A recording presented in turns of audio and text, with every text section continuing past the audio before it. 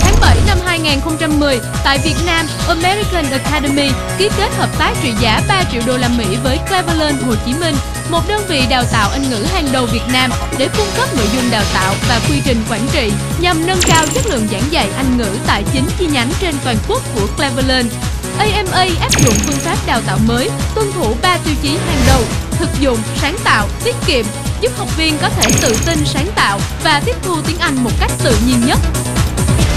Uy tín,